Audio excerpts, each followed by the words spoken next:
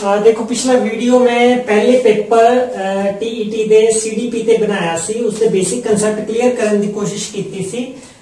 ਉਹਨਾਂ ਕੁਐਸਚਨ ਦੇ ਨਾਲ ਰਿਲੇਟਡ ਕੁਝ ਥਿੰਕਿੰਗ ਐਕਸਰਸਾਈਜ਼ ਜਾਂ ਟੈਸਟਿੰਗ ਐਕਸਰਸਾਈਜ਼ ਜਿਹੜੇ ਜਿਹੜੇ ਕੁਝ ਕੁਐਸਚਨ ਉਹ ਇਸ ਵੀਡੀਓ 'ਚ ਪੇਸ਼ ਕਰ ਰਿਹਾ ਹਾਂ। ਉਹ ਕੁਐਸਚਨ ਪ੍ਰੀਵੀਅਸ ਜਿਹੜੇ ਤੁਹਾਡੇ ਪੇਪਰ ਹਨ, ਉਹਨਾਂ ਵਿੱਚੋਂ ਨਹੀਂ ਹਨ। ਉਹ ਕੁਐਸਚਨ ਨਿਊ ਟਾਈਪ ਦੇ ਕੁਐਸਚਨ ਹਨ। ਉਹਦੇ ਵਿੱਚ ਟਰੂ ਫਾਲਸ ਜਾਂ ਕਰੈਕਟ ਇਨਕਰੈਕਟ ਕਰੈਕਟ ਇਨਕਰੈਕਟ ਵੀ ਹੋਣਗੇ ਔਰ MCQ ਡਿਫਰੈਂਟ ਟਾਈਪ ਦੇ ਹੋਣਗੇ। ਨਾਰਮਲੀ MCQ ਵਿੱਚ ਤੁਸੀਂ ਇੱਕ ਸਟੈਮ ਹੁੰਦੀ ਹੈ ਤੇ ਚਾਰ ਉਸ ਦੀਆਂ ਆਪਸ਼ਨ ਹੁੰਦੀਆਂ ਹਨ। 1 2 3 4 1 2 3 4 ਤੇ ਅਸੀਂ ਇੱਕ ਜੋ ਰਾਈਟ ਆਨਸਰ ਹੈ ਉਸ ਨੂੰ ਲੱਭਣ ਦੀ ਕੋਸ਼ਿਸ਼ ਕਰਦੇ ਹਾਂ ਜਿੱਥੋਂ ਤੁਸੀਂ ਆਲਰੇਡੀ ਤਿਆਰੀ ਜਿਸ ਬੁੱਕ ਜਾਂ YouTube ਤੋਂ ਕਰ ਰਹੇ ਹਨ, ਉਹ ਐਕਸਪਰਟ ਵੀ ਤੁਹਾਨੂੰ ਇਸੇ ਤਰ੍ਹਾਂ ਉਸ ਦੀ ਤਿਆਰੀ ਕਰਵਾਉਂਦਾ ਹੋਏਗਾ ਕਿ ਰਾਈਟ ਆਨਸਰ ਇਹ ਹੈ। ਪਰ ਹਰ ਵੇਲੇ ਰਾਈਟ ਆਨਸਰ ਤੇ ਫੋਕਸ ਕਰਨ ਨਾਲੋਂ ਸਾਰੀਆਂ ਆਪਸ਼ਨ ਤੇ ਫੋਕਸ ਕਰਨਾ ਬੈਟਰ ਹੁੰਦਾ ਹੈ। ਇਹ ਲੱਭ ਲੈਣਾ ਕਿ ਬਾਕੀ ਗਲਤ ਕਿਉਂ ਹਨ ਤੇ ਸਹੀ ਕਿਹੜੀਆਂ ਹਨ, ਦੋ ਸਭ ਤੋਂ ਸਹੀ ਕਿਹੜੀਆਂ ਹਨ ਜਾਂ ਉਸ ਨੂੰ ਰੈਂਕ ਵਿੱਚ ਤਬਦੀਲ ਕਰ ਲੈਣਾ। ਕੁਝ ਇਸ ਤਰ੍ਹਾਂ ਦੀ ਐਕਸਰਸਾਈਜ਼ ਕਰਾਵਾਂਗਾ ਪਲੱਸ MCQ ਜਿਸ ਵਿੱਚ 4 ਦੀ ਜਗ੍ਹਾ ਤੇ ਤਿੰਨ ਆਪਸ਼ਨ ਵੀ ਹੋ ਸਕਦੇ ਹੈ 4 5 6 7 8 9 10 ਆਪਸ਼ਨ ਤੱਕ ਵੀ ਹੋ ਸਕਦੇ ਹਨ। ਤੇ ਤੁਸੀਂ ਉਹਨਾਂ ਆਪਸ਼ਨਸ ਦੇ ਵਿੱਚੋਂ ਸਿਰਫ ਇਹ ਨਹੀਂ ਲੱਭਣਾ ਕਿ ਇੱਕ ਰਾਈਟ ਆਨਸਰ ਹੈ। ਤੁਸੀਂ ਇਹ ਦੇਖਣਾ ਹੈ ਕਿ ਉਹਨਾਂ ਦੇ ਵਿੱਚੋਂ ਕਿੰਨੇ ਰਾਈਟ ਆਨਸਰ ਹਨ? 0 ਵੀ ਹੋ ਸਕਦਾ ਹੈ 1 2 3 4 5 ਕਿੰਨੇ ਵੀ ਰਾਈਟ ਆਨਸਰ ਹੋ ਸਕਦੇ ਹਨ। ਅਜਿਹੇ ਕੁਐਸਚਨ ਜੇ ਤੁਸੀਂ ਸੋਲਵ ਕਰਦੇ ਹੋ, ਤਾਂ ਤੁਹਾਡੀ ਪ੍ਰੋਬੇਬਿਲਿਟੀ MCQ ਸੋਲਵ ਕਰਨ ਦੀ ਸੱਚ ਕਹਿਣਾ ਹਾਂ, ਵੱਧ ਜਾਏਗੀ ਡਿਫਰੈਂਟ ਟਾਈਪ ਦੀ ਇਹ ਐਕਸਰਸਾਈਜ਼ ਹੋਏਗੀ। ਦੂਸਰਾ ਸੀਡੀਪੀ ਤੇ ਜ਼ਿਆਦਾ ਜ਼ੋਰ ਕਿਉਂ ਦਿੱਤਾ ਗਿਆ ਹੈ? ਫੰਡਾਮੈਂਟਲ ਥਿਊਰੀਜ਼ ਵਾਈਗੋਸਕੀ ਪਿਆਜੇ ਕੋਲਬਰਗ ਇਹਦੇ ਵਿੱਚ ਸ਼ਾਮਲ ਹਨ, ਕਿਉਂਕਿ ਇਹਨਾਂ ਥਿਊਰੀਜ਼ ਨੇ ਜਿਹੜੇ ਇਹ 15 ਕੁਐਸਚਨ ਤੁਹਾਡੇ ਦੂਸਰੇ ਪੇਪਰਾਂ ਵਿੱਚ ਪੈਡਾਗੋਜੀ ਦੇ ਆਣੇ ਹਨ 15 15 15 15 15 15 ਉਹਨਾਂ ਤੇ ਵੀ ਅਪਲਾਈ ਹੋਣਾ ਹੈ। ਮੈਂ ਸਟ੍ਰੈਟਜੀਜ਼ ਦੱਸਾਂਗਾ ਤੁਹਾਨੂੰ ਕਿ ਸੇਮ ਨੌਲੇਜ ਨੂੰ ਤੁਸੀਂ ਉਹਨਾਂ ਨੂੰ ਸੋਲਵ ਕਰਨ ਲਈ ਕਿਵੇਂ ਯੂਜ਼ ਕਰਨਾ ਹੈ। ਦੈਟ ਇਜ਼ ਵਾਈ ਮੈਂ ਜ਼ਿਆਦਾ ਜ਼ੋਰ ਫੰਡਾਮੈਂਟਲ ਥਿਊਰੀਜ਼ ਨੂੰ ਐਕਸਪਲੇਨ ਕਰਨ ਤੇ ਦਵਾਂਗਾ। ਨਾਲ ਨਾਲ ਉਸ ਦੀ ਐਕਸਰਸਾਈਜ਼ ਕਰਵਾਵਾਂਗਾ। ਪ੍ਰੀਵੀਅਸ ਕੁਐਸਚਨ ਵੀ ਡਿਸਕਸ ਕਰਾਂਗਾ।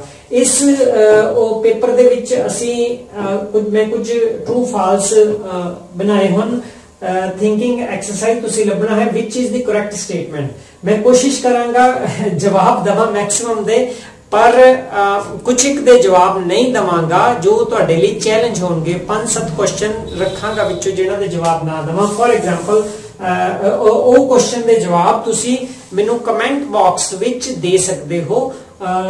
ਕਿ ਉਹਨਾਂ ਦੇ ਜਵਾਬ ਕੀ ਹਨ? ਫਰਦਰ ਡਿਸਕਸ਼ਨ ਉਹਨਾਂ ਤੇ ਹੋਏਗੀ ਕਿ ਕਿ ਉਹ ਤੁਹਾਡੇ ਗਲਤ ਜਾਂ ਸਹੀ ਕਿਉਂ ਹਨ? ਠੀਕ?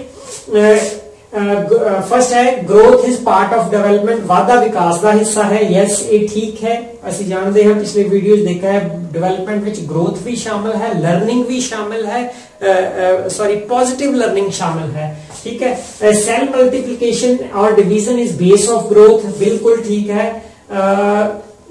Growth is observable height growth है वेट ग्रोथ है। ऑब्ज़र्व कर सकते हैं। मतलब कि असि खाना देख सकते हैं। ਤੁਹਾਡੇ ਸਾਹਮਣੇ ਕਲੀਅਰ ਹੈ। ਆਬਜ਼ਰਵ ਕਰ ਸਕਦੇ ਹਾਂ। ਜਿਹੜੀ ਚੀਜ਼ ਆਬਜ਼ਰਵ ਕਰ ਸਕਦੇ ਹਾਂ ਹਾਈਟ ਮੈਜ਼ਰ ਕਰ ਸਕਦੇ ਹਾਂ, ਨਾਪ ਸਕਦੇ ਹਾਂ। ਯੈਸ ਨਾਪ ਸਕਦੇ ਹਾਂ। Development is fifth development is qualitative ਠੀਕ? ਇਹਦਾ ਜਵਾਬ ਤੁਸੀਂ ਦੇਣਾ ਹੈ। ਪੰਜਵੇਂ ਦਾ ਜਵਾਬ ਤੁਸੀਂ ਦੇਣਾ ਹੈ। ਇਹ ਰਾਈਟ ਹੈ ਜਾਂ ਰੋਂਗ ਹੈ? ਗਰੋਥ ਇਜ਼ ਕੁਆਂਟੀਟੇਟਿਵ ਇਹ ਠੀਕ ਹੈ। ਜਿੱਥੇ ਮੈਜ਼ਰਮੈਂਟ ਆ ਗਈ, ਜਿੱਥੇ ਨਾਪ ਸਕਦੇ ਹਾਂ ਸਾਈਜ਼ ਆ ਗਿਆ, ਉੱਥੇ ਉਹ ਕੁਆਂਟੀਟੇਟਿਵ ਹੋ ਗਿਆ। ਠੀਕ? ਵਾਧਾ ਮਾਤਰਾਤਮਕ ਹੈ। ਸਾਰੇ ਮਨੁੱਖੀ ਅੰਗਾਂ ਦਾ ਵਿਕਾਸ ਹਮੇਸ਼ਾ ਨਿਰੰਤਰ ਹੁੰਦਾ ਹੈ।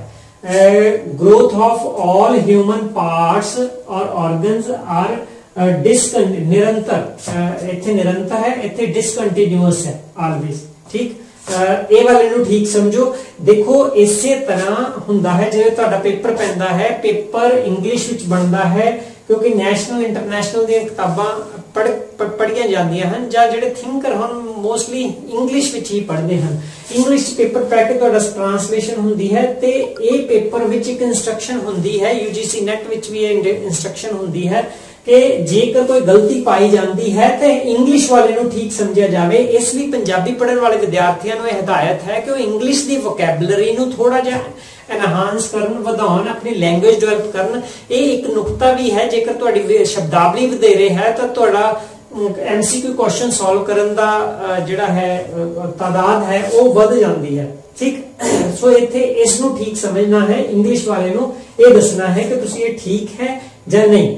Okay biological maturation is positively related with learning. Yes, ਜਿੱਦਾਂ ਅਸੀਂ ਮੈਚੁਰ ਮਤਲਬ ਕਿ ਮੈਂ ਬਾਇਓਲੋਜੀਕਲ ਮੈਚੁਰੇਸ਼ਨ ਕੇ ਬੱਚਾ ਬੈਠਣਾ ਸ਼ੁਰੂ ਹੋ ਗਿਆ। ਬੈਠਣ ਤੋਂ ਬਾਅਦ ਕੁਝ ਟਾਈਮ ਦੇ ਬਾਅਦ ਉਹ ਖੜਾ ਹੋਣਾ ਸ਼ੁਰੂ ਹੋ ਗਿਆ। ਖੜੇ ਹੋਣ ਤੋਂ ਬਾਅਦ ਉਹ ਤੁਰਨਾ ਸ਼ੁਰੂ ਹੋ ਗਿਆ।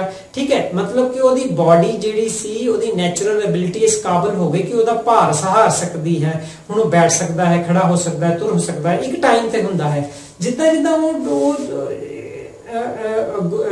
ਬਾਇਓਲੋਜੀਕਲ ਮੈਚੁਰੇਸ਼ਨ ਹੁੰਦੀ ਹੈ ਤੇ ਉਹ ਇੱਧਰ ਉੱਧਰ ਦੇ ਆਬਜੈਕਟਸ ਨੂੰ ਚੱਕਦਾ ਹੈ, ਮੂੰਹ ਚ ਪਾਉਂਦਾ ਹੈ, ਸੁੱਟਦਾ ਹੈ, ਜਿਹੜੀ ਵੀ ਚੀਜ਼ ਉਹਦੇ ਦਾਇਰੇ ਚ ਆਉਂਦੀ ਹੈ। ਜਦੋਂ ਰੇਡਰ ਲੱਗਦਾ ਹੈ, ਜਦੋਂ ਤੁਰਨ ਲੱਗਦਾ ਹੈ, ਇਹ ਮਤਲਬ ਜ਼ਿਆਦਾ ਚੀਜ਼ਾਂ ਤੱਕ ਪਹੁੰਚਦਾ ਹੈ। ਜ਼ਿਆਦਾ ਚੀਜ਼ਾਂ ਤੱਕ ਪਹੁੰਚੇਗਾ ਤੇ ਉਹਨੂੰ ਟੱਚ ਕਰੇਗਾ, ਸੁੰਘੇਗਾ, ਚੱਕ ਕੇ ਮਾਰੇਗਾ, ਉਹਦੀ ਨੌਲੇਜ ਉਹਦੇ ਅੰਦਰ ਜਾਏਗੀ ਲਰਨ ਕਰੇਗਾ। ਸੋ ਜਿੱਦਾਂ ਜਿੱਦਾਂ ਬਾਇਓਲੋਜੀਕਲ ਮੈਚੁਰੇਸ਼ਨ ਵੱਧਦੀ ਹੈ, ਉਹਦਾ ਉਹਦਾ ਲਰਨਿੰਗ ਵੱਧਦੀ ਹੈ। ਠੀਕ? ਪਟਵਨ ਸੀ gender is developed biologically or hereditary or genetically ਇਹ ਤਿੰਨੇ ਸ਼ਬਦ ਨੇੜੇ ਨੇੜੇ ਨੇ ਦੋ ਕਨਸੈਪਟ ਨੇ ਸੈਕਸ ਐਂਡ ਜੈਂਡਰ ਜੈਂਡਰ ਤੁਹਾਡੇ ਸਿਲੇਬਸ ਵਿੱਚ ਹੈ ਤੇ ਜੈਂਡਰ ਉਹ ਚੀਜ਼ਾਂ ਹਨ ਕਿ ਕੁੜੀਓ ਤੁਸੀਂ ਆ ਪਹਿਨਣਾ ਹੈ ਮੁੰਡਿਓ ਤੁਸੀਂ ਆ ਪਹਿਨਣਾ ਹੈ ਪਹਿਰਾਵਾ ਤੁਹਾਡਾ ਇਸ ਤਰ੍ਹਾਂ ਦਾ ਹੋਣਾ ਚਾਹੀਦਾ ਹੈ। ਤੁਸੀਂ ਤੁਰਦੇ ਇਦਾਂ ਹੋਣੇ ਚਾਹੀਦੇ, ਬੈਠਦੇ ਇਸ ਤਰ੍ਹਾਂ ਹੋਣੇ ਚਾਹੀਦੇ। ਕੁੜੀਓ, ਤੁਸੀਂ ਇਦਾਂ ਨਹੀਂ ਬੈਠਣਾ ਇਦਾਂ ਨਹੀਂ ਬੋਲਣਾ ਇਦਾਂ ਨਹੀਂ ਉੱਚਾ ਨਹੀਂ ਬੋਲਣਾ, ਗਾਲਾਂ ਨਹੀਂ ਕੱਢਣੀਆਂ। ਸੋ ਅਸੀਂ ਦੋ ਉਹਨਾਂ ਦੇ ਵਿਚਕਾਰ ਭਿੰਨ ਭੇਦ ਕੀਤੇ ਹੋਏ ਹਨ। ਸੋਸਾਇਟੀ ਕੁਝ ਇੱਕ ਕਹਿੰਦੀ ਹੈ ਬੱਚੇ, ਕੁੜੀਆਂ ਨੂੰ ਹੈਪੀ ਬਰਥਡੇ ਕਹਿੰਦੀ ਹੈ, ਦੂਜੀ ਸੋਸਾਇਟੀ ਜਿੰਦਿਆਂ ਨੂੰ ਮਾਰ ਦਿੰਦੀ ਹੈ। ਚਲੋ, ਮਾਰਨ ਵਾਲਾ ਕਨਸੈਪਟ ਇਹਦੇ ਵਿੱਚ ਨਹੀਂ ਹੈ ਸ਼ਾਮਲ। ਹਾਂ, ਉਹਨੂੰ ਜੋ ਸਿਖਾਇਆ ਜਾਂਦਾ ਹੈ, ਸਿਖਾਇਆ ਕੀ ਜਾਂਦਾ ਹੈ, ਤੁਸੀਂ ਕਿਸ ਕਲਰ ਦੇ ਕੱਪੜੇ ਆ? ਪਿੰਕ ਮੂਵੀ ਵੀ ਇੱਕ ਬਣੀ ਸੀ ਪਿੰਕ ਕਲਰ ਦੇ ਕੱਪੜੇ ਪਾਣੇ ਆ। ਅੱਛਾ ਜੀ ਮੁੰਡੇ ਮੁੰਡੇ ਬਲੂ ਬਲੂ ਕਲਰ ਦੇ ਕੱਪੜੇ, ਛੋਟਾ ਬੇਬੀ ਜਦੋਂ ਆਂਦਾ ਹੈ, ਇਹ ਪਸੰਦ ਕੀਤੇ ਜਾਂਦੇ ਹਨ। ਬਲੂ ਕਲਰ ਉਸ ਨੂੰ ਨਹੀਂ ਦਿੱਤਾ ਜਾਂਦਾ ਪਿੰਕ ਜਿਹੜਾ ਹੈ, ਉਹ ਮੁੰਡਿਆਂ ਨੂੰ ਨਹੀਂ ਦਿੱਤਾ ਜਾਂਦਾ। ਸੋ ਇਸੇ ਤਰ੍ਹਾਂ ਸਮਝਿਆ ਜਾਂਦਾ ਮੈਥਸ ਵਿੱਚ ਕੁੜੀਆਂ ਕਮਜ਼ੋਰ ਹਨ। ਕੌਣ ਸਮਝਦਾ ਹੈ? ਟੀਚਰ ਸੁਸਾਇਟੀ ਸਮਝਦੇ ਹਨ। ਅੱਛਾ ਮਕੈਨੀਕਲ ਵਰਕ ਕਰਨ ਵਿੱਚ ਕੁੜੀਆਂ ਨੂੰ ਕਮਜ਼ੋਰ ਸਮਝਿਆ ਜਾਂਦਾ ਹੈ, ਡਰਾਈਵਿੰਗ ਵਿੱਚ ਕੁੜੀਆਂ ਨੂੰ ਕਮਜ਼ੋਰ ਸਮਝਿਆ ਜਾਂਦਾ। ਹੁਣ ਸੋ ਇਹ ਸਾਰੀਆਂ ਧਾਰਨਾਵਾਂ ਅਸਲ ਵਿੱਚ ਗਲਤ ਹਨ।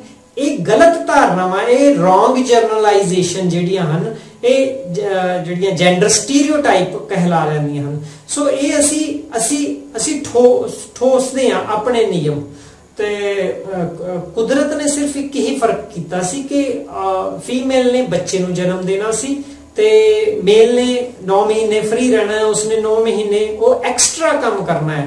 ਯਾਦ ਰੱਖਣਾ 3 ਜੌਬਸ ਫੀਮੇਲ ਇੰਨਾ ਉੱਚਾ ਜੈਂਡਰ ਹੈ ਕਿ ਇਹਨੂੰ 3 ਜੌਬਸ ਇੱਕ ਜੌਬ ਇਹ ਫੈਮਿਲੀ ਬੱਚਾ ਸੰਭਾਲ, ਪੈਦਾ ਕਰਨਾ, ਸੰਭਾਲਣਾ ਬਾਹਰ ਵੀ ਅੱਜ ਜੌਬ ਕਰ ਰਹੀ ਹੈ ਔਰ ਘਰ ਵੀ ਸੰਭਾਲਣਾ, ਠੀਕ ਹੈ?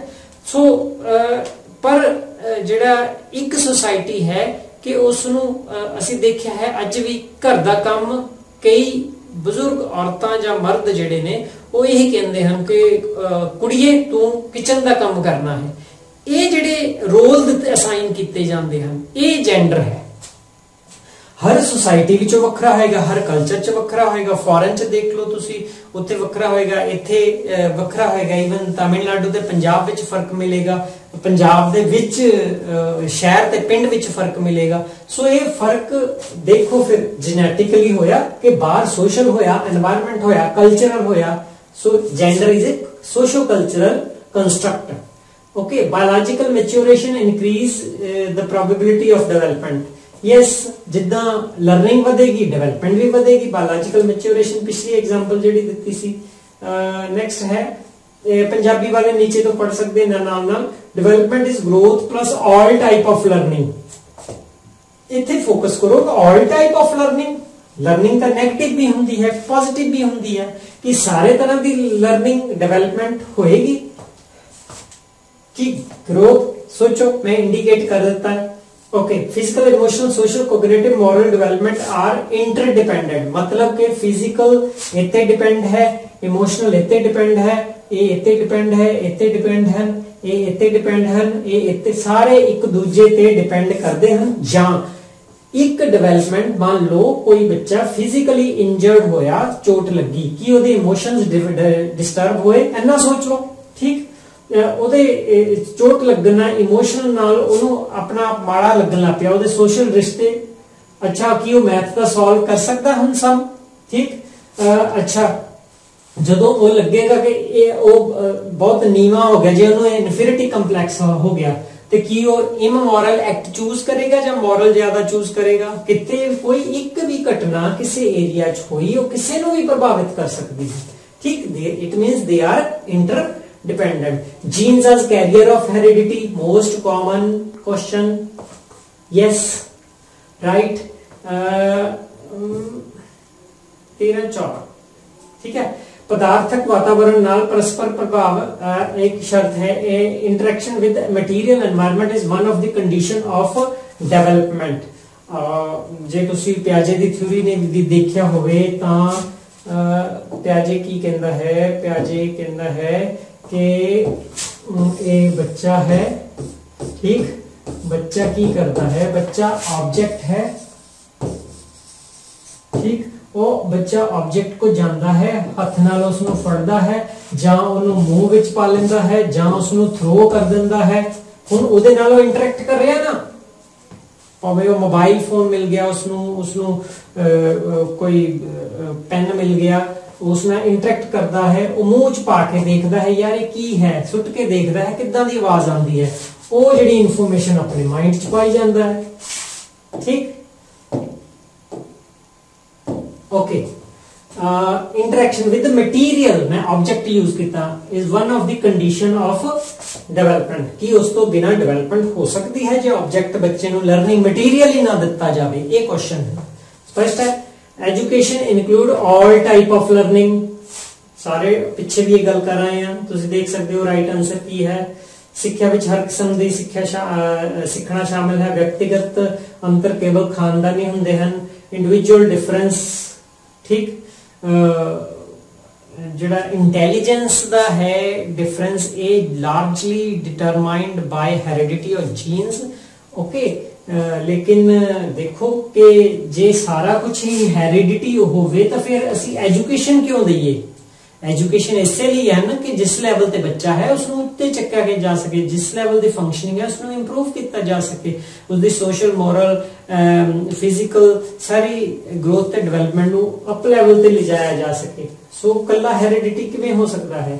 ਚਾਈਲਡ ਡਿਵੈਲਪਮੈਂਟ ਸੁਜੈਸਟ ਪੈਡਾਗੋਜੀ ਜਿੰਨੀ ਥਿਊਰੀ ਹੈ ਪਿਆਜੇ Vygotsky Bruner John Dewey Albert Bandura Skinner ਇਹ ਕੁਝ ਨਾ ਕੁਝ ਪ੍ਰੋਸੈਸ ਦੱਸਦੇ ਹਨ, ਜਿਸ ਨਾਲ ਬੱਚਾ ਬੈਟਰ ਸਿੱਖ ਸਕਦਾ ਹੈ। ਜਦੋਂ ਉਹ ਬੈਟਰ ਸਿੱਖ ਸਕਦਾ ਹੈ ਫੋਰ ਐਗਜ਼ਾਮਪਲ ਪਿਆਜੇ ਕਹਿੰਦੇ ਹਨ ਕਿ ਤੀਜੀ ਅਵਸਥਾ ਵਿੱਚ ਜਾ ਕੇ ਬੱਚਾ ਲੌਜੀਕਲ ਸੋਚਣ ਲੱਗਦਾ ਹੈ, ਪਰ ਕੰਕਰੀਟ ਆਬਜੈਕਟਸ ਦੇ ਨਾਲ। ਤੇ ਫਿਰ ਅਸੀਂ, ਉਹ 7 ਸਾਲ ਦੀ ਉਮਰ ਹੈ। 7 ਸਾਲ ਦੀ ਬਹੁਤ ਇੰਪੋਰਟੈਂਟ ਉਮਰ ਹੈ ਵਗੋਸਕੀ ਤੇ ਉਹਦੇ ਮੁਤਾਬਕ। ਇਸ ਦਾ ਮਤਲਬ ਹੈ 7 ਸਾਲ ਦੀ ਉਮਰ ਤੋਂ ਪਹਿਲਾਂ 7 ਇਅਰ ਤੋਂ ਪਹਿਲਾਂ ਜੇ ਬੱਚੇ ਨੂੰ ਲੌਜੀਕਲੀ ਸੋਚਣ ਲਈ ਜਾਂ ਉਹ ਲਰਨਿੰਗ ਮਟੀਰੀਅਲ ਜਾਂ ਸਿਲੇਬਸ ਲਗਾਇਆ ਜਾਂਦਾ ਹੈ ਤਾਂ ਬਿਲਕੁਲ ਗਲਤ ਹੈ। ਪਿਆਜੇ ਦੀ ਥਿਊਰੀ ਨੇ ਸਾਬਤ ਕਰ ਦਿੱਤਾ। ਉਸ ਤੋਂ ਬਾਅਦ ਹੀ, ਪਿਆਜੇ ਦੀ ਥਿਊਰੀ ਤੋਂ ਬਾਅਦ ਹੀ ਸਾਰੇ ਵਰਲਡ ਦੀ ਪੈਡਾਗੋਜੀ ਚੇਂਜ ਹੋਈ। 7 ਸਾਲ ਤੋਂ ਪਹਿਲਾਂ ਲੌਜੀਕਲੀ ਸੋਚਣ ਲਈ ਬੱਚੇ ਨੂੰ ਮਜਬੂਰ ਨਹੀਂ ਜ਼ਿਆਦਾ ਕੀਤਾ ਜਾਂਦਾ। ਉਹ ਲੌਜੀਕਲ ਐਰਰ ਕਰ ਸਕਦਾ ਹੈ ਕਿਉਂਕਿ ਉਸ ਨੂੰ ਲੱਗਦਾ ਹੈ ਜਿਹੜੀ ਚੀਜ਼ ਸ਼ੇਪ ਵਿੱਚ ਵੱਡੀ ਹੈ 1 ਕਿਲੋ ਰੂ ਜਾਂ 1 ਕਿਲੋ ਦਾ ਵੱਟਾ ਕਿਹੜਾ ਭਾਰੀ ਹੈ? 7 ਸਾਲ ਤੋਂ ਪਹਿਲਾਂ ਬੱਚਾ ਕਹੇਗਾ ਕਿ 1 ਕਿਲੋ ਦਾ ਰੂ ਭਾਰੀ ਹੈ। ਸੋ ਇਹ ਕਹਾਵਤਾਂ ਜਾਂ ਅਸੀਂ ਥਿੰਕਿੰਗ ਐਕਸਰਸਾਈਜ਼ ਸਾਡੇ ਕਲਚਰ ਵਿੱਚ ਵੀ ਹਨ। ਸੋ ਇਹ ਇਹ ਸਿਰਫ ਐਨੀ ਐਗਜ਼ਾਮਪਲ ਨਾਲ ਤੁਸੀਂ ਪਿਆਜੇ ਦੀ ਥਿਊਰੀ ਨੂੰ ਸਮਝ ਸਕਦੇ ਹੋ, ਠੀਕ ਹੈ? 7 ਸਾਲ ਤੋਂ ਬਾਅਦ ਉਹ ਬੱਚਾ ਕਹਿੰਦਾ ਹੈ, ਨਹੀਂ, ਦੋਨੋਂ ਤਾਂ 1 ਕਿਲੋ ਦੇ ਹਨ, ਬੇਸ਼ੱਕ ਸਾਈਜ਼ ਵੱਡਾ ਹੈ। ਹੁਣ ਸੋਚਣ ਲੱਗ ਪਿਆ ਨਾ ਲੌਜੀਕਲ ਸੋ ਪੈਡਾਗੋਜੀ ਵਿੱਚ ਇਹ 7 ਸਾਲ ਤੋਂ ਬਾਅਦ ਉਹਨੂੰ ਲੌਜੀਕਲ ਥਿੰਕਿੰਗ ਦੀਆਂ ਐਕਸਰਸਾਈਜ਼ ਕਰਵਾਈਆਂ ਜਾਣਗੀਆਂ, ਪਰ ਸੂਟੇਬਲ ਲਰਨਿੰਗ ਮਟੀਰੀਅਲ ਦੇ ਕੇ ਸੈਂਸਰੀ ਐਕਸਪੀਰੀਅੰਸ ਦੇ ਕੇ। Okay development include size height and weight ਇਹ ਤੁਸੀਂ ਦੱਸਣਾ ਹੈ, ਹਾਂ? ਇੱਕ ਦੋ ਕੁਐਸਚਨ ਤੁਹਾਡੇ ਲਈ, ਦੋ ਇੱਕ ਦੋ ਨਹੀਂ, ਜ਼ਿਆਦਾ ਤੁਹਾਡੇ ਲਈ ਕੁਐਸਚਨ ਛੱਡਾਂਗਾ। ਵਿਕਾਸ ਵਿੱਚ ਆਕਾਰ, ਉਚਾਈ ਤੇ ਭਾਰ ਸ਼ਾਮਲ ਹੁੰਦੇ ਹਨ। ਜੈਵਿਕ ਪਰਪਕਤਾ ਸਮਾਂ ਸਾਰਣੀ ਦੀ ਪਾਲਣਾ ਕਰਦੀ ਹੈ। ਬਾਇਓਲੋਜੀਕਲ ਮੈਚੂਰੇਸ਼ਨ ਟਾਈਮ ਟੇਬਲ ਹੈ ਕਿ ਇੱਕ ਟਾਈਮ ਤੇ ਇਹ ਵਾਲੀ ਚੀਜ਼ ਅਨਨੈਚੁਰਲ ਚੀਜ਼ ਅਨਫੋਲਡ ਹੋਣੀ ਹੈ। ਦੂਸਰੀ, ਤੀਸਰੀ, ਬੈਠਣਾ, ਉੱਠਣਾ ਖੜੇ ਹੋਣਾ, ਤੁਰਨਾ ਓਕੇ ਇਹ ਐਬਿਲਿਟੀਜ਼ ਦੇਖੋ। Yes intelligence is largely determined by genes heredity और बायोलॉजिकल बिल्कुल ठीक biological maturation is a process of अन होने दसिया है बिल्कुल ठीक ਜੈਵਿਕ ਪਰਪੱਕਤਾ ਕੁਦਰਤੀ ਯੋਗਦਾਨਾਂ ਦਾ ਇਹ ਹੋ ਗਿਆ ਜੀਵ ਵਿਗਿਆਨ ਓਕੇ ਜੈਵਿਕ ਪਰਪੱਕਤਾ ਆਪਣੇ ਆਪ ਵਾਪਰਦੀ ਹੈ ਆਟੋਮੈਟਿਕ ਹੈ ਆਟੋਮੈਟਿਕ ਹੈ ਯੈਸ ਲਰਨਿੰਗ ਆਟੋਮੈਟਿਕ ਨਹੀਂ ਹੈ ਲਰਨਿੰਗ ਇੰਟੈਂਸ਼ਨਲ ਹੈ एक्सपीरियंस बेस्ड है कॉन्शियस प्रोसेस है, ठीक है? जो बायोलॉजिकल मेच्योरेशन है ये अनकॉन्शियस और ऑटोमेटिक है, ठीक? Biological maturation occur on genetically defined time लगभग रिपीटेड है मोटर विकास का मतलब है motor development mean purposeful control of behaviour ये भी दसना है।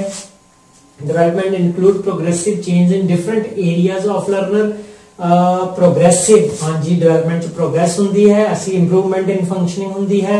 ਇੱਕ ਬੱਚਾ ਹੈ ਉਸ ਨੂੰ ਕਲਮ ਨੂੰ ਫੜਦਾ ਹੈ, ਫਿਰ ਐਦਾਂ ਫੜਦਾ ਹੈ, ਫਿਰ ਸੋਹਣੀ ਤਰ੍ਹਾਂ ਫੜਦਾ ਹੈ। ਅੱਜ ਤੁਸੀਂ ਬੜੇ ਸਟਾਈਲ ਨਾਲ ਫੜ ਲੈਂਦੇ ਹੋ। ਸੋ ਇਹ ਤੁਹਾਡੇ ਡਿਵੈਲਪਮੈਂਟ ਹੈ ਪ੍ਰੋਗਰੈਸ ਹੋਈ ਐਜੂਕੇਸ਼ਨ ਨੇ ਕਰਵਾਈ ਨਾ। ਡਿਫਰੈਂਟ ਏਰੀਆ ਫਿਜ਼ੀਕਲ ਵੀ ਮੋਟਰ ਵੀ uh, ਇਮੋਸ਼ਨਲ ਵੀ ਸੋਸ਼ਲ ਵੀ ਐਸਥੈਟਿਕ ਵੀ, ਇਹ ਅਸੀਂ ਪਿੱਛੇ ਕਰ ਰਹੇ ਪਿਆਜੇ explain development proceed from illogical to logical thinking ਇਹ ਤੁਸੀਂ ਦੱਸਣਾ ਹੈ ਸਕੇਮਾ ਪਿਛਲੇ ਗਿਆਨ ਦੀ ਬੰਤਰ ਹੈ। ਸਕੇਮਾ ਸਟਰਕਚਰ ਆਫ ਪ੍ਰੀਵੀਅਸ ਨੌਲੇਜ ਸਕੇਮਾ ਨੂੰ ਯਾਦ ਰੱਖਣਾ ਹੈ। ਪੀਕੇ ਮੂਵੀ ਯਾਦ ਰੱਖੋ ਪ੍ਰੀਵੀਅਸ ਨੌਲੇਜ ਪਲੱਸ ਪਰ ਐਕਸ਼ਨ ਵੀ ਸ਼ਾਮਿਲ ਹੁੰਦੇ ਹੈ ਬਿਹੇਵੀਅਰ ਵੀ ਸ਼ਾਮਿਲ ਹੁੰਦਾ ਹੈ। ਸਕੇਮਾ is existing knowledge which help to know about the new knowledge yes interpretation ठीक स्कैमा नेक्स्ट है thirty one the base of cognitive development is biological maturation and material environment experience according to प्याजे प्याजे के अनुसार biological maturation के बच्चा biological mature होएगा जिन्ना mature होएगा interact करेगा इंट्रैक्ट के करेगा कर भी सकते हैं ये गल भी की प्लस कर लें फिर तो लिख लें मच्योर होया, ए मेच्योर होया, ए, ये वाला मेच्योर ज़्यादा ये हो ज़्यादा, ये ज़्यादा मेच्योर हो गया। इट मीनस ये ज़्यादा इंट्रैक्शन करेगा मटीरियल मटीरियल मटीरियल एनवायरमेंट ठीक है? ज़्यादा ऑब्जेक्ट्स नाल इंट्रैक्शन करेगा, ठीक? ਬਾਇਓਲੋਜੀਕਲ ਮੈਚਿਓਰੇਸ਼ਨ ਨਾਲ ਇੰਟਰੈਕਸ਼ਨ ਵਧਿਆ ਹੈ ਇੰਟਰੈਕਸ਼ਨ ਦੇ ਵਧਣ ਨਾਲ ਇੰਟਰੈਕਸ਼ਨ ਨੂੰ ਹੀ ਇਸ ਨੂੰ ਐਕਸਪੀਰੀਅੰਸ ਵੀ ਕਹਿ ਸਕਦੇ ਹਾਂ ਸੋ ਇਹਦੇ ਨਾਲ ਹੀ ਲਰਨਿੰਗ ਲਰਨਿੰਗ ਵਧੇਗੀ ਲਰਨਿੰਗ ਵਧੇਗੀ ਤਾਂ ਡਿਵੈਲਪਮੈਂਟ ਵਧੇਗੀ ਓਕੇ ਵਾਪਸ ਚਲੇ ਤੇ ਲੋ okay Kohlberg theory explain how a learner think about justice. ਦੇਖੋ, ਇੱਥੇ ਗਲਤੀ ਹੈ, ਇਹ ਲਰਨਰ ਲਿਖ ਲੈਣਾ ਹੈ। ਇਹ ਇਹੀ ਗੱਲ ਮੈਂ ਦੱਸ ਰਿਹਾ ਹਾਂ ਕਿ ਪੰਜਾਬੀ ਵਿੱਚ ਟ੍ਰਾਂਸਲੇਸ਼ਨ ਦੀ ਗਲਤੀਆਂ ਹੋ ਸਕਦੀਆਂ ਹਨ। ਜਦੋਂ ਵੀ ਗਲਤੀ ਹੁੰਦੀ ਹੈ, ਤੁਸੀਂ ਇੰਗਲਿਸ਼ ਵਾਲੇ ਨੂੰ ਸਹੀ ਮੰਨਣਾ ਹੈ। ਇਹ ਅਕਸਰ ਇਨਸਟਰਕਸ਼ਨ ਵੀ ਹੁੰਦੀ ਹੈ। ਥੈਟ ਇਜ਼ ਵਾਈ ਤੁਹਾਨੂੰ ਆਪਣੀ ਵੋਕੈਬਲਰੀ ਇਨਕਰੀਜ਼ ਕਰਨੀ ਚਾਹੀਦੀ ਹੈ। ਬਾਰ-ਬਾਰ ਮੈਂ ਕਹਿਣਾ ਇੱਕ ਨੁਕਤਾ ਹੈ P TET C TET UGC NET ਕੁਝ ਵੀ ਕਲੀਅਰ ਕਰਨਾ ਹੈ। ਕੋਲਬਰਗ ਐਕਸਪਲੇਨ ਦੈਟ ਹਾਊ ਹਾਂ, ਬਿਲਕੁਲ। ਵੈਸੇ ਮੋਰੈਲਿਟੀ ਦਾ ਮਤਲਬ ਹੁੰਦਾ ਹੈ what is good or bad ਠੀਕ? ਪਰ ਕੋਹਲਬਰਗ ਦੀ ਥਿਊਰੀ ਦੇ ਵਿੱਚ ਚੋਰੀ ਕਰਨਾ, ਤੁਸੀਂ ਜਸਟੀਫਾਈਫਿਕੇਸ਼ਨ ਜੇ ਦੇ ਦਿੰਦੇ ਹੋ ਦੱਸਦੇ ਹੋ ਕਿ ਇਹਨਾਂ ਜਸਟਿਸ ਮਿਲੇਗਾ ਚੋਰੀ ਕਰਨ ਨਾਲ, ਤਾਂ ਉਹ ਰਾਈਟ ਹੈ। ਲੇਕਿਨ ਕੋਹਲਬਰਗ ਦੀ ਥਿਊਰੀ ਚੋਰੀ ਕਰਨ ਜਾਂ ਨਾ ਕਰਨ ਤੇ ਕੋਈ ਜ਼ੋਰ ਨਹੀਂ ਦਿੰਦੀ। ਉਹ ਜ਼ੋਰ ਦਿੰਦੀ ਹੈ ਕਿ ਪਿੱਛੇ ਰੀਜ਼ਨਿੰਗ ਕੀ ਦਿੱਤੀ ਜਾਂਦੀ ਹੈ। ਕੋਈ ਵੀ ਐਕਟ ਕਰਨਾ ਹੈ ਮੋਰਲ ਜਾਂ ਇਮੋਰਲ ਉਹ ਰੀਜ਼ਨਿੰਗ ਹੈ ਮੋਰ ਇਮੋਰਲ ਨਹੀਂ, ਸਿਰਫ ਮੋਰਲ ਤੋ ਉਹ ਰੀਜ਼ਨਿੰਗ ਕੀ ਹੈ? ਜਸਟਿਸ ਦੇ ਆਲੇ ਦੁਆਲੇ ਘੁੰਮਦੀ ਹੈ ਕਿ ਜਸਟਿਸ ਉਹਦਾ ਦੀ ਸਿਚੁਏਸ਼ਨ ਜਿਹੜੀ ਡਾਇਲੈਮਾ ਸੀ, ਉਹ ਜਸਟਿਸ ਦੇ ਆਲੇ ਦੁਆਲੇ ਹੁੰਦਾ ਸੀ। Cognitive development means improvement in functioning improvement in functioning ਯਾਦ ਰੱਖਣਾ ਹੈ ਡਿਵੈਲਪਮੈਂਟ ਦਾ ਫੰਡਾਮੈਂਟਲ ਹੈ। ਠੀਕ? In cognitive abilities yes in moral abilities yes in physical abilities yes motor uh, motor yes in uh, mm, uh, जो है aesthetic abilities improvement yes development indicate positive change for the improvement function in different domains of learner domains भी हो सकता है dimension भी हो सकता है एरियाज़ भी हो सकता है। वही कोग्नेटिव इफ़ेक्टिव कोनेटिव जो हम गला करके आए हैं।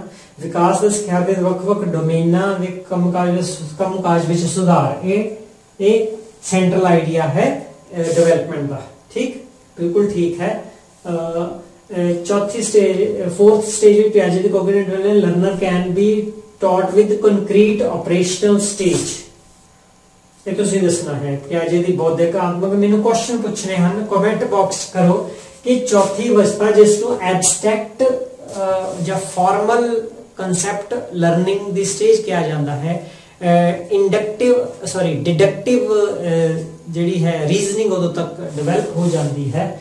ਕਿ ਉਹਦੇ, ਉਸ ਸਟੇਜ ਵਿੱਚ ਕੰਕਰੀਟ ਆਪਰੇਸ਼ਨ ਜਾਂ ਕੰਕਰੀਟ ਐਕਸਪੀਰੀਅੰਸ ਨਾਲ ਟੀਚ ਕਰਨਾ ਚਾਹੀਦਾ ਹੈ ਪੈਡਾਗੋਜੀ ਇਹ ਤੁਸੀਂ ਦੱਸਣਾ ਹੈ।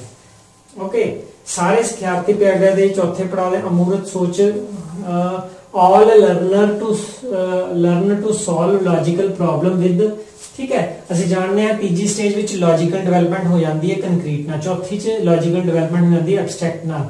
ਤੁਹਾਨੂੰ ਇਹ ਦੱਸਣਾ ਹੈ ਕਿ ਤੁਸੀਂ ਇਹ ਸਹੀ ਹੈ ਕਿ ਨਹੀਂ? ਇਹ ਕੁਐਸਚਨ ਇਸ ਤਰ੍ਹਾਂ ਦਾ ਆਏਗਾ, ਪੱਕੀ ਗੱਲ ਹੈ। ਇਸ ਦੇ ਬੇਸ ਤੇ ਪੱਕਾ ਆਏਗਾ। ਛੱਤੀ development is discontinuous process according to ਪਿਆਜੇ ਜਿੱਥੇ ਵੀ ਸਟੇਜ ਯਾਦ ਰੱਖਣਾ ਹੈ, ਜਿੱਥੇ ਵੀ ਸਟੇਜ ਆ ਜਾਂਦੀ ਹੈ ਪਿਆਜੇ ਦੀ ਥਿਊਰੀ ਸਟੇਜ ਥਿਊਰੀ ਹੈ। ਠੀਕ? ਜਿੱਥੇ ਵੀ ਸਟੇਜ ਆਉਂਦੀ ਹੈ ਇਸ ਦਾ ਮਤਲਬ ਹੈ ਡਿਸਕੰਟੀਨਿਊਸ ਡਿਸਕੰਟੀਨਿਊਸ ਕਿ? ਜੋ ਬੱਚੇ ਕੋ ਇੱਥੇ ਐਰਰ ਸੀ ਐਰਰ ਸੀ, ਉਹ ਇੱਥੇ ਛੱਡ ਦਿੱਤੀਆਂ ਉਸਨੇ। ਠੀਕ? ਇੱਥੇ ਕ੍ਰਾਸ ਹੋ ਗਿਆ। ਉਹ ਨੈਕਸਟ ਉਹ ਐਰਰ ਤੋਂ ਅੱਗੇ ਵੱਧ ਗਿਆ ਹੈ। ਇੱਥੇ ਜੋ ਐਰਰ ਸੀ, ਉਹ ਤੋਂ ਉਹ ਬੈਟਰ ਹੋ ਗਿਆ, ਅੱਗੇ ਚਲਾ ਗਿਆ।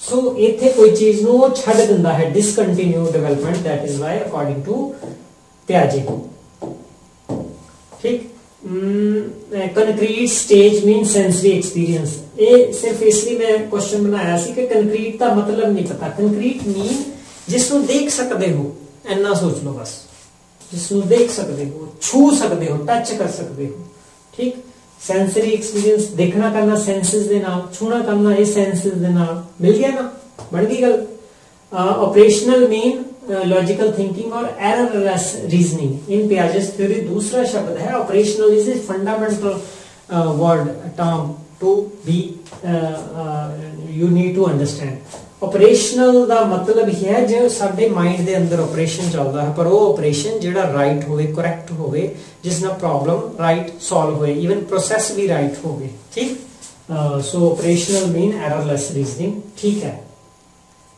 ਅੱਗੇ ਕੁਐਸਚਨ ਹਨ ਇਸ ਨੂੰ ਥੋੜਾ ਬਦਲ ਲਈਏ ਦੂਸਰੀ ਤਰ੍ਹਾਂ ਕਰ ਲਈਏ ਓਕੇ ਇਸ ਨੇ ਹਮ ਤੰਗ ਕਰਨਾ ਹੈ ਓਕੇ एमसीक्यू क्वेश्चन ने कुछ बनाए वो MCQ question uh, Shanu meet to principal to change the rule of college for the welfare of a group. शानु मिलती है एक सॉरी हाँ शानु मिलते हैं शानु ਇੱਕ ਵਿਦਿਆਰਥੀ ਹੈ ਜੋ ਪ੍ਰਿੰਸੀਪਲ ਸਾਹਿਬ ਨੂੰ ਮਿਲਦੇ ਹਨ ਕਿਸ ਲਈ ਕਿ ਕੁਝ ਇੱਕ ਬੱਚਿਆਂ ਦੇ ਭਲੇ ਲਈ ਇੱਕ ਰੂਲ ਜਿਹੜਾ ਹੈ ਉਹਨਾਂ ਦੇ ਰਸਤੇ 'ਚ ਰੁਕਾਵਟ ਹੈ ਸਰ ਜੀ ਉਹਨੂੰ ਚੇਂਜ ਕਰ ਦਿੱਤਾ ਜਾਵੇ ਜੇ ਚੇਂਜ ਕਰਾਂਗੇ ਤਾਂ ਉਹਨਾਂ ਦਾ ਭਲਾ ਹੋਏਗਾ ਬਾਕੀਆਂ ਦਾ ਨੁਕਸਾਨ ਨਹੀਂ ਹੋਏਗਾ ਸ਼ਾਨੂ ਕਿਸ ਲੈਵਲ ਤੇ ਜੀ ਰਹੀ ਹੈ? ਸਿਰਫ 6 ਸਟੇजेस ਇਹਦੇ ਵਿੱਚ ਗਿਣੋ। ਵੈਸੇ ਚਲੋ 7ਵੀਂ ਵੀ ਗਿਣ ਲਓ zero stage pre model stage stage 1 simple authority orientation ਦੇਖੋ, ਇਹਦੇ ਵਿੱਚ ਮੈਂ ਜ਼ਿਆਦਾ ਨਾਮ ਦਿੱਤੇ ਗਏ ਹਨ। ਇਹ ਜ਼ਿਆਦਾ ਨਾਮ ਜਦੋਂ ਤੁਹਾਨੂੰ ਲਰਨ ਕਰ ਲਓਗੇ, ਜਦੋਂ ਕੋਲਬਰਗ ਦੀ ਥਿਊਰੀ ਕਰਵਾਵਾਂਗਾ, ਇਹ ਕਲੀਅਰ ਕਰਾਂਗਾ, ਇਹ ਨਾਮਾਂ ਨੂੰ ਯਾਦ ਕਿੱਦਾਂ ਕਰਨਾ ਹੈ ਤੇ ਯੂਜ਼ ਕਿੱਦਾਂ ਕਰਨਾ ਹੈ। Punishment obedience orientation okay stage 2 self interest ਦੇਖੋ ਕਿੰਨੇ ਨਾਮ ਹਨ ਸਟੇਜ 2 ਦੇ self interest mutual benefits instrumental relativists personal reward orientation ਫਿਰ ਆ ਗਿਆ ਸਟੇਜ 3 ਲੈਵਲ ਹਜੇ ਨਾ ਹੈ ਇਹਦੇ ਵਿੱਚ ਦੇਖੋ stage 3 interpersonal cooperation good boy good girl orientation. Stage 4 law and order. Stage 5 social contract. Stage 6 universal ethical principle. ਇੱਕ ਗੱਲ ਯਾਦ ਰੱਖਣੀ ਹੈ, ਟੈਟ ਦੇ ਐਗਜ਼ਾਮ ਲਈ ਜਾਂ UGC ਨੈਟ ਦੇ ਐਗਜ਼ਾਮ ਲਈ ਯੂਨੀਵਰਸਲ ਐਥੀਕਲ ਪ੍ਰਿੰਸੀਪਲਸ ਵਾਲਾ ਬੰਦਾ ਜੋ 72 ਦਾ ਬॉयਜ਼ ਦਾ ਸ਼ਿਕਾਗੋ ਜੋ ਜਿਹੜੇ ਮੇਲ ਪਰਸਨ ਉਹਨਾਂ ਨੇ ਲਏ ਸਨ ਸੈਂਪਲ ਬਾਇਸ ਸੀ ਇੱਕ ਕ੍ਰਿਟਿਸਿਜ਼ਮ ਵੀ ਹੁੰਦਾ ਹੈ ਕੋਲਬਰਗ ਦੀ ਥਿਊਰੀ ਦਾ। ਲੇਕਿਨ ਇੰਨੇ ਜਣਿਆਂ ਵਿੱਚੋਂ, ਇੰਨੇ ਸੈਂਪਲ ਦੇ ਵਿੱਚੋਂ ਕੋਈ ਉਹਨਾਂ ਨੂੰ ਇਹ ਸ਼ਖਸ ਨਹੀਂ ਮਿਲਿਆ ਕਿ ਜਿਹੜਾ 6th ਸਟੇਜ ਤੇ ਜਿੰਦਾ ਹੋਵੇ। ਇਹ ਇਸ ਲਈ ਉਹਨਾਂ ਨੇ ਇੱਕ ਆਈਡੀਅਲ ਸਟੇਜ ਦੱਸੀ ਹੈ। ਥੈਟ ਇਜ਼ ਵਾਈ ਇਸ ਸਟੇਜ ਤੇ ਅਸੀਂ ਆਪਣੇ ਵੱਡੇ ਵੱਡੇ ਸੋਸ਼ਲ ਰਿਫਾਰਮਿਸਟਸ ਨੂੰ ਰੱਖਦੇ ਹਨ।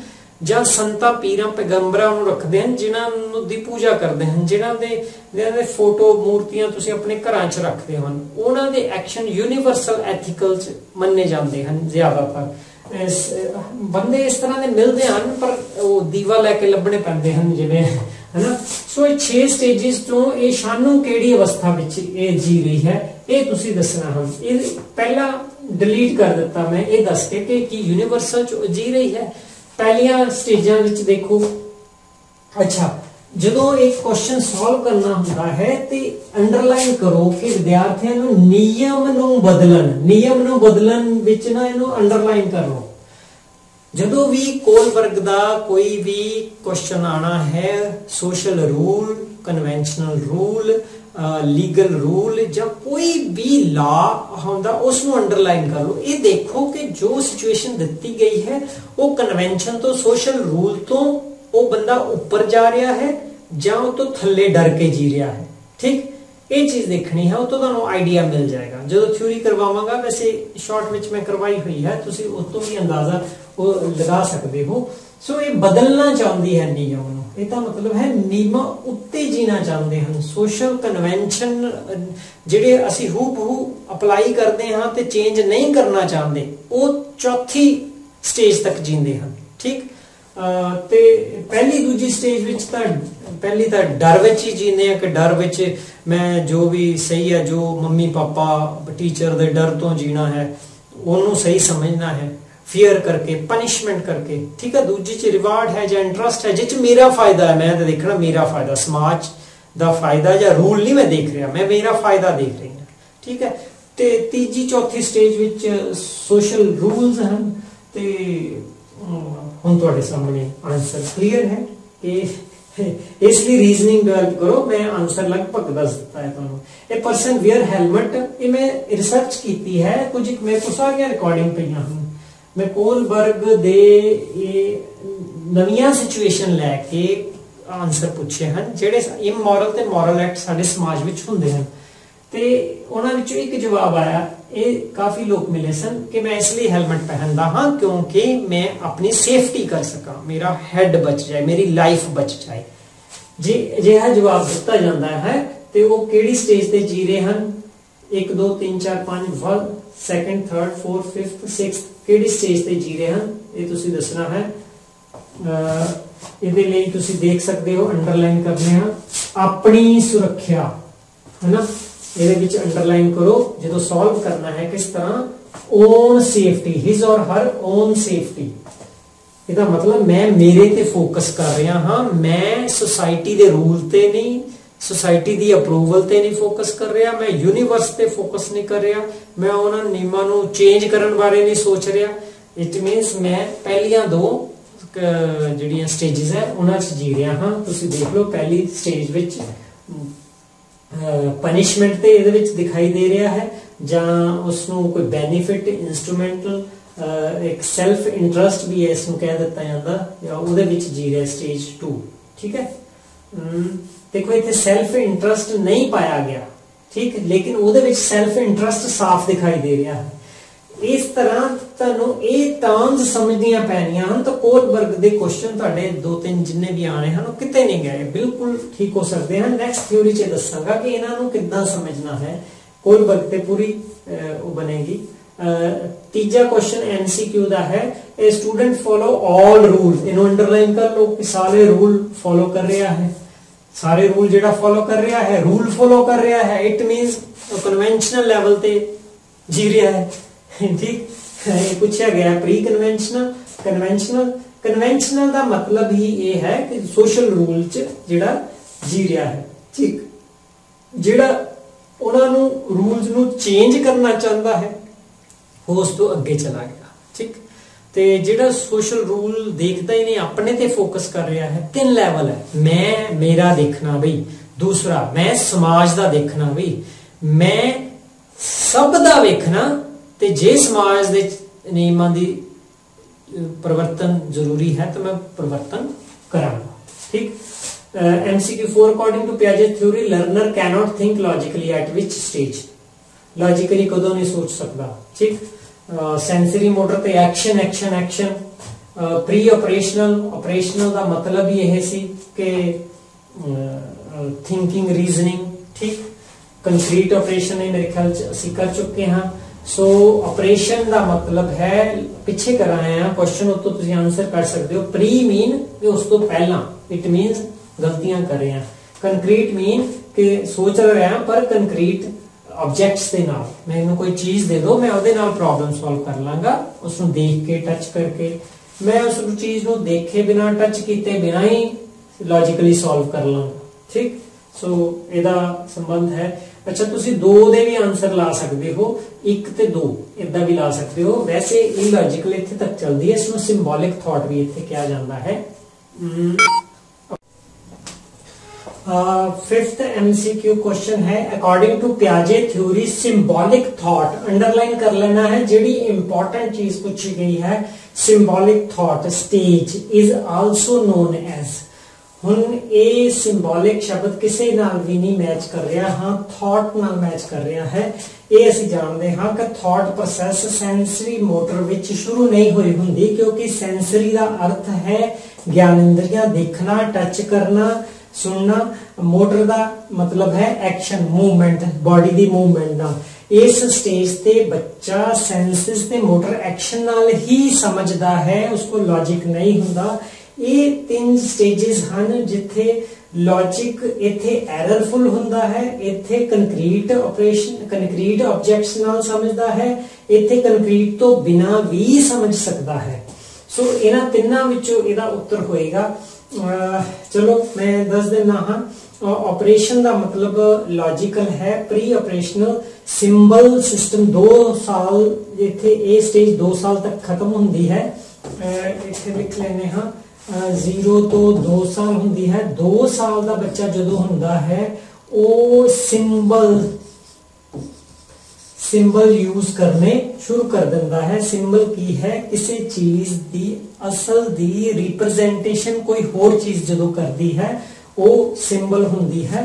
ਫੋਰ ਐਗਜ਼ਾਮਪਲ ਅਸੀਂ ਕਹਿੰਦੇ ਹਾਂ ਇਹ ਅਸਲੀ ਪੈਨ ਹੈ, ਲੇਕਿਨ ਅਸੀਂ P E N ਲਿਖਦੇ ਹਾਂ, ਇਹ ਇੱਕ ਸਿੰਬਲ ਹੈ। ਸੋ ਇੱਥੇ ਲੈਂਗੁਏਜ ਲੈਂਗੁਏਜ ਡਿਵੈਲਪਮੈਂਟ ਸ਼ੁਰੂ ਹੋ ਜਾਂਦੀ ਹੈ। ਲੈਂਗੁਏਜ ਸਾਰਾ ਹੀ ਸਿਸਟਮ ਸਿੰਬੋਲਿਕ ਸਿਸਟਮ ਹੈ। ਸੋ ਪ੍ਰੀ ਆਪਰੇਸ਼ਨਲ ਸਟੇਜ ਜਿਹੜੀ ਹੈ ਸਿੰਬੋਲਿਕ ਥਾਟ ਨਾਲ ਜੁੜੀ ਜਾਂਦੀ ਹੈ। ਇਸ ਨੂੰ ਹੋਰ ਸਮਝਣਾ ਹੈ ਤੇ ਇਹ motor action based logic logic ਨਹੀਂ ਬੇਸਿਕ ਹੁੰਦਾ, ਲੇਕਿਨ ਮੋਟਰ ਐਕਸ਼ਨ ਨਾਲ ਹੀ ਉਹ ਬਾਹਰਲੇ ਸੰਸਾਰ ਨੂੰ ਬੱਚਾ ਸਮਝਦਾ ਹੈ। ਇੱਥੇ ਸਿੰਬਲਸ ਨਾਲ ਸਮਝਣਾ ਸ਼ੁਰੂ ਕਰ ਦਿੰਦਾ ਹੈ। ਲੇਕਿਨ ਲੌਜੀਕਲ ਐਰਰ ਕਰਦਾ ਹੈ। ਇੱਥੇ ਲੌਜੀਕਲ ਐਰਰ ਨਹੀਂ ਕਰਦਾ। ਮਤਲਬ ਆਪਰੇਸ਼ਨ ਮੀਨ ਲੌਜੀਕ ਲੌਜੀਕ ਤਾਂ ਅਪਲਾਈ ਕਰਦਾ ਹੈ, ਪਰ ਉਸ ਨੂੰ ਕੰਕਰੀਟ ਸੈਂਸਰੀ ਐਕਸਪੀਰੀਅੰਸ ਚਾਹੀਦੇ ਹਨ ਕਿ ਉਸ ਨੂੰ ਉਹ ਚੀਜ਼ ਦਿਖਾਈ ਦਿੰਦੀ ਹੋਵੇ, ਉਹ ਟੱਚ ਕਰ ਸਕਦਾ ਹੋਵੇ ਸੁੰਘ ਸਕਦਾ ਹੋਵੇ, ਉਹ ਉਸ ਨੂੰ ਸੁਣ ਸਕਦਾ ਹੋਵੇ ਕੰਕਰੀਟ ਚੀਜ਼। ਠੀਕ? ਕੰਕਰੀਟ ਨੂੰ ਜਦੋਂ ਵੀ ਸਮਝਣਾ ਹੈ, ਉਦੋਂ ਨਾਲ ਹੀ ਅੱਖਾਂ ਸਾਹਮਣੇ ਲੈ ਆਣੀਆਂ ਜਿਸ ਨੂੰ ਅੱਖਾਂ ਨਾਲ ਦੇਖ ਸਕਦੇ ਹੋ ਔਰ ਹੱਥ ਲੈ ਆਉਣੇ ਆ ਸਾਹਮਣੇ ਕਿ ਟੱਚ ਕਰ ਸਕਦੇ ਹੋ, ਠੀਕ? ਫਾਰਮਲ ਵਿੱਚ ਕੀ ਹੈ ਕਿ ਵਿਦਆਊਟ ਆਬਜੈਕਟ ਵਿਦਆਊਟ ਸੈਂਸਰੀ ਵੀ ਤੁਸੀਂ ਪ੍ਰੋਬਲਮ ਨੂੰ ਸੋਲਵ ਕਰ ਲੈਂਦੇ ਹੋ, ਠੀਕ? ਇਸ ਦਾ ਮਤਲਬ ਇਹ ਨਹੀਂ ਹੈ ਕਿ ਤੁਹਾਨੂੰ ਕੰਕਰੀਟ ਨਹੀਂ ਦਿੱਤਾ ਜਾਏਗਾ, ਨਾ ਨਹੀਂ ਦਿੱਤਾ ਜਾਣਾ ਚਾਹੀਦਾ ਫਾਰਮਲ ਦੇ ਵਿੱਚ ਇੱਕ ਤਰ੍ਹਾਂ ਦਾ ਬੱਚਾ ਐਸ ਰਿਸਰਚਰ। ਰਿਸਰਚਰ ਬਣ ਸਕਣ ਦੀ ਕਾਬਲੀਅਤ ਰੱਖਣਾ ਸ਼ੁਰੂ ਕਰ ਦਿੰਦਾ ਹੈ, ਪਰ ਹਰ ਬੱਚਾ ਰਿਸਰਚਰ ਨਹੀਂ ਬਣਦਾ। Researcher mean scientific thinking apply ਨਹੀਂ ਕਰਦਾ। ਸਾਇੰਟਿਫਿਕ ਥਿੰਕਿੰਗ ਮੀਨ ਡਿਡਕਟਿਵ ਤੇ ਇੰਡਕਟਿਵ ਨੂੰ ਕੰਬਾਈਨ ਕਰਕੇ ਕਿਸੇ ਹਾਈਪੋਥੇਸਿਸ ਨੂੰ ਟੈਸਟ ਨਹੀਂ ਕਰ ਸਕਦਾ। ਪਰ ਪਿਆਜੇ ਨੇ ਇਸ ਨੂੰ ਕਿਹਾ ਸੀ ਹਾਈਪੋਥੈਟਿਕੋ ਡਿਡਕਟਿਵ ਥਿੰਕਿੰਗ ਸੋ ਇਹ ਵਾਲੀਆਂ ਸਟੇजेस ਹਨ ਰਿਪੀਟ ਕਰਾ ਰਿਹਾ ਹਾਂ ਤਾਂ ਜੋ ਤੁਹਾਡੀ ਨਾਲ ਨਾਲ ਕਈ ਕੁਐਸਚਨ ਵੀ ਸੋਲਵ ਕਰ ਸਕੋ ਔਰ ਤਿਆਰੀ ਵੀ ਹੁੰਦੀ ਜਾਵੇ ਰੈਪੀਟੀਸ਼ਨ ਆਜ਼ਾਦ ਵੀ ਰਹੇਗਾ ਮੈਂ ਜ਼ਿਆਦਾਤਰ ਤੁਹਾਨੂੰ ਇਹ ਸੁਜੈਸ਼ਨ ਦਿੰਨਾ ਹਾਂ ਕਿ ਇੱਕ ਸ਼ਬਦ ਨੂੰ ਫੜ ਲਓ ਪ੍ਰੀ ਨੂੰ ਇੱਥੇ ਫੜ ਲਓ ਸੈਂਸਰੀ ਨੂੰ ਫੜ ਲਓ ਮੋਟਰ ਨੂੰ ਫੜ ਲਓ ਠੀਕ ਹੈ ਆਪਰੇਸ਼ਨ ਦਾ मीनिंग ਸਮਝ ਲਓ ਪ੍ਰੋਬਲਮ ਬਿਨਾ ਥਿਉਰੀ ਲਾਈਟਲੀ ਥਿਊਰੀ ਨੂੰ ਜਿੰਨਾ ਸਮਝਾਇਆ ਹੈ ਥੋੜੀ ਹੋਰ ਸਮਝਾਵਾਂਗਾ ਅੱਛੀ ਤਰ੍ਹਾਂ ਵੈਸੇ ਸਮਝਾਵਾਂਗਾ ਲੇਕਿਨ ਉਸ ਤੋਂ ਬਿਨਾ ਵੀ ਤੁਸੀਂ ਇਸ ਨੂੰ ਸੋਲਵ ਕਰ ਸਕਦੇ ਹੋ। ਤੋ ਪੰਜਾਬੀ ਵੱਲ ਬੱਚੇ ਨਾਲ ਨਾਲ ਇਹ ਕੁਐਸਚਨ ਸਮਝ ਸਕਦੇ ਹਨ, ਵਾਪਸ ਚਲਦੇ ਹਾਂ। ਆ ਨੈਕਸਟ ਕੁਐਸਚਨ ਤੇ ਕੁਐਸਚਨ 6th ਪੰਜਾਬੀ ਵਿੱਚ ਵੀ ਕੁਐਸਚਨ 6th ਪਿਆਜੇ ਥਿਊਰੀ ਦੇ ਅਨੁਸਾਰ ਕਾਰਜਸ਼ੀਲ ਵਿਚਾਰ ਅਵਸਥਾ। ਇੱਥੇ ਕੀ ਹੈ? ਪਿਆਜੇ theory operational thought stage operational thought stage ਹੁਣ ਆਪਰੇਸ਼ਨਲ ਥਾਟ ਸੈਂਸਰੀ ਹੈ। ਦੇਖੋ, ਅਸੀਂ ਉਹਦੇ ਨਾਲ ਹੀ ਸਮਝਣ ਦੀ ਕੋਸ਼ਿਸ਼ ਕਰਨ ਲੱਗੇ ਹਾਂ। ਸੈਂਸਰੀ ਇੱਕ ਮਿੰਟ। ਸੈਂਸਰੀ ਇਹ ਏਰੀਆ ਸੈਂਸਰੀ ਸੈਂਸਿਸ ਦੇ ਨਾਲ ਮੋਟਰ ਐਕਸ਼ਨ ਦੇ ਨਾਲ ਮੋਟਰ ਐਕਸ਼ਨ ਠੀਕ ਹੈ?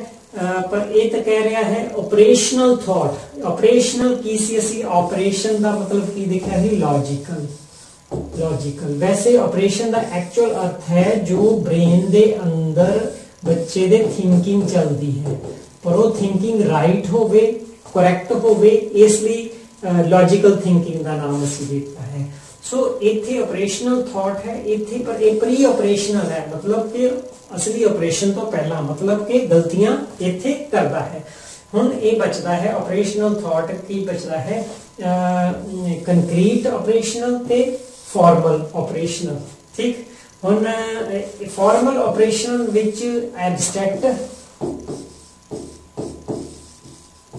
ਐਬਸਟ੍ਰੈਕਟ ਕਿਉਂ ਲਿਖਿਆ ਹੈ ਇੱਥੇ ਕਿਉਂਕਿ ਕੰਕਰੀਟ ਦਾ ਵਿਰੋਧੀ ਹੈ ਕੰਕਰੀਟ ਜਿਸ ਨੂੰ ਛੂ ਸਕਦੇ ਹਾਂ ਦੇਖ ਸਕਦੇ ਹਾਂ ਐਬਸਟ੍ਰੈਕਟ ਜਿਸ ਨੂੰ ਛੂ ਨਹੀਂ ਸਕਦੇ ਦੇਖ ਨਹੀਂ ਸਕਦੇ ਜਿਹੜਾ ਸੈਂਸਰੀ ਨਹੀਂ ਹੈ ਠੀਕ ਇਹਦੇ ਵਿਰੋਧ ਵਿੱਚ ਤੁਸੀਂ ਸਮਝ ਸਕਦੇ ਹੋ ਠੀਕ ਤੋਂ ਆਪਰੇਸ਼ਨਲ ਥਾਟ ਸਟੇਜ ਸਾਡੀ ਸਿੱਧੀ ਇਹਨਾਂ ਨੂੰ ਜੇ ਕੱਟ ਦਈਏ ਐਬਸਟ੍ਰੈਕਟ ਤੇ ਹੈ, ਇਹ ਬਣ ਰਹੀ ਹੈ ਕੰਕਰੀਟ ਆਪਰੇਸ਼ਨਲ ਸਟੇਜ ਪੰਜਾਬੀ ਵਿੱਚ ਨਾਲ ਪੜ ਸਕਦੇ ਹੋ। ਸੱਤਵਾਂ ਕੁਐਸਚਨ ਹੈ 7th ਕੁਐਸਚਨ ਅਕੋਰਡਿੰਗ ਟੂ ਪਿਆਜੇ ਥਿਉਰੀ ਐਬਸਟ੍ਰੈਕਟ ਕਨਸੈਪਟ ਹੁਣ ਤੁਸੀਂ ਐਬਸਟ੍ਰੈਕਟ ਨੂੰ ਆਰਾਮ ਨਾਲ ਫੜ ਲਿਆ ਹੋਣਾ।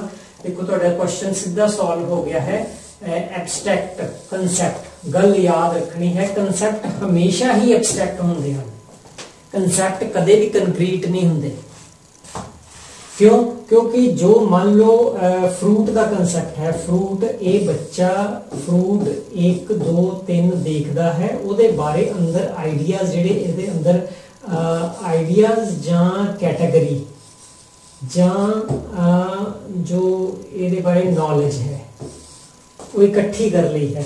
ਉਹ ਨੌਲੇਜ ਉਹ ਕੈਟਾਗਰੀ ਉਹ ਆਈਡੀਆ ਜਿਹੜੇ ਹਨ, ਇਹ ਕਨਸੈਪਟ ਹੁੰਦੇ ਹਨ। ਫੋਰ ਐਗਜ਼ਾਮਪਲ ਫਰੂਟ ਦਾ ਕਨਸੈਪਟ ਠੀਕ?